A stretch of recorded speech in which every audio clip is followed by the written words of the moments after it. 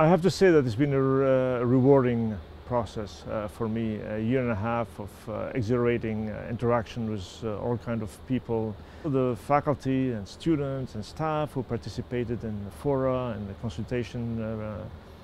processes and answering questions online and give us their input about all these issues. It, it was a really